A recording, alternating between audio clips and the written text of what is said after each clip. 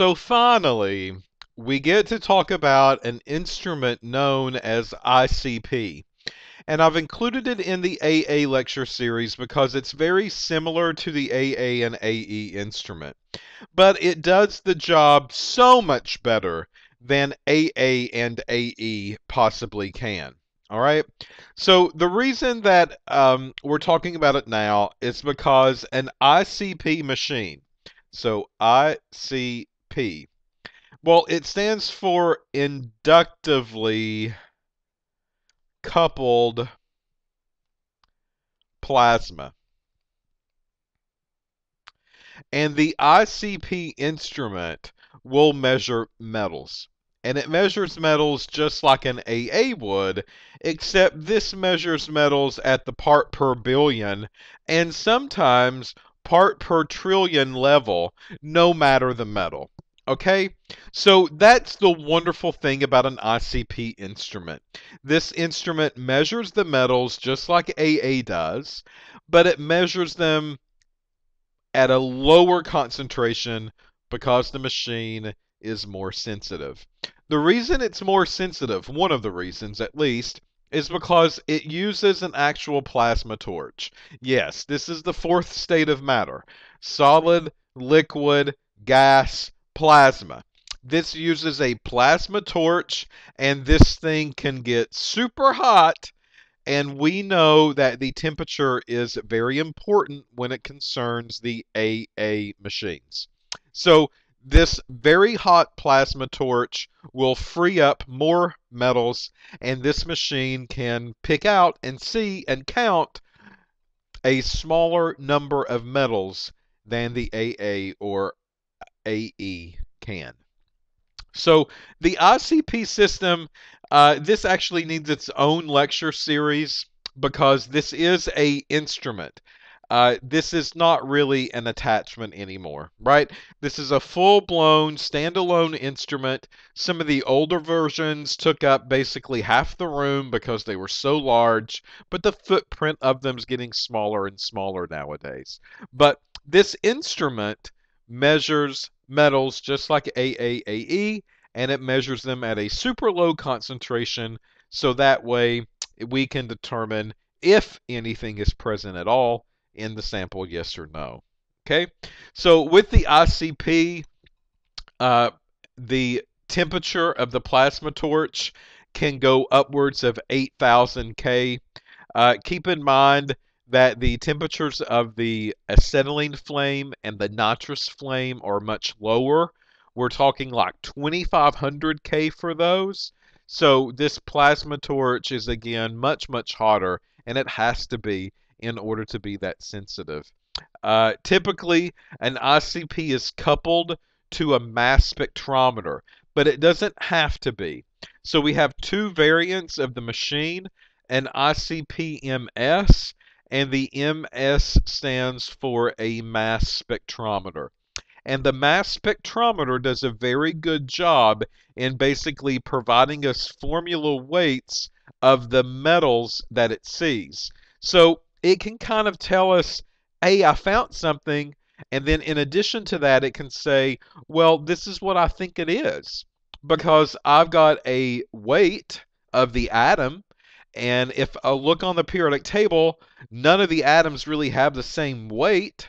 So it uses the formula weight of the metal in order to identify it.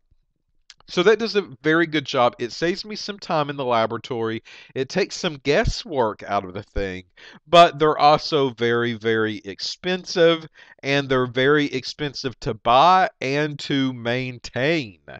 So this is high maintenance here. And this is something that I want to think about if I have to use and operate an ICP MS system.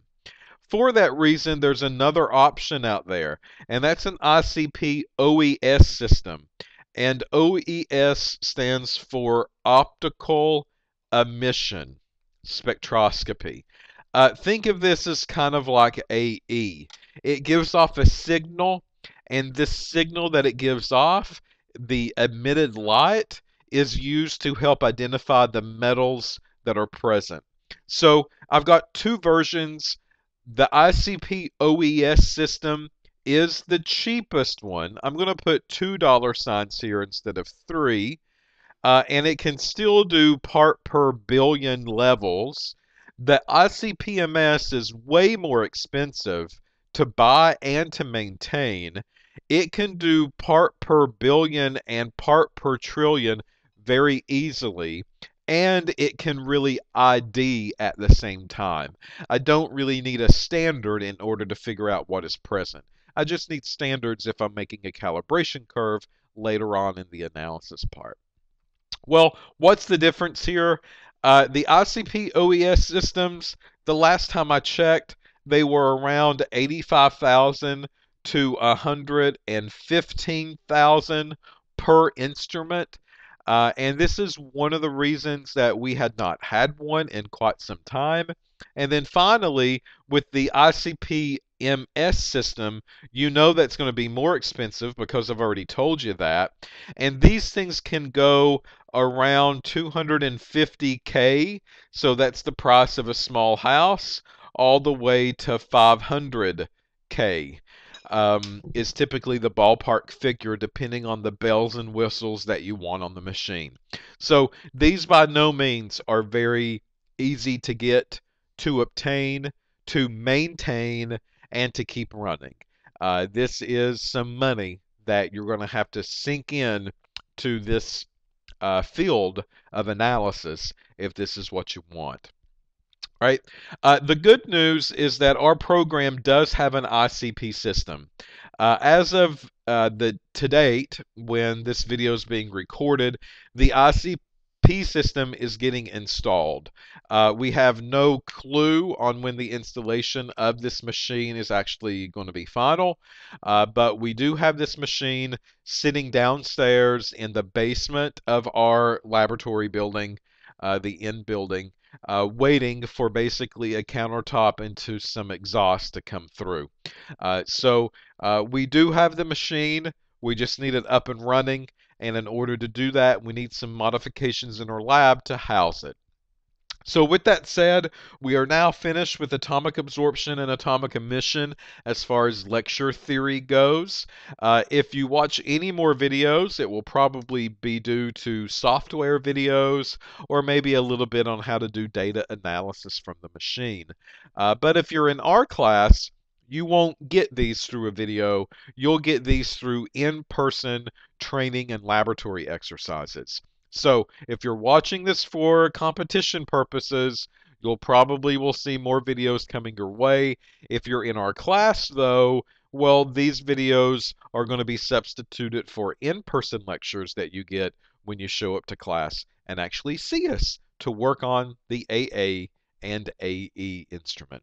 So until then, uh, I'll see you next time and uh, have some popcorn, have some drinks.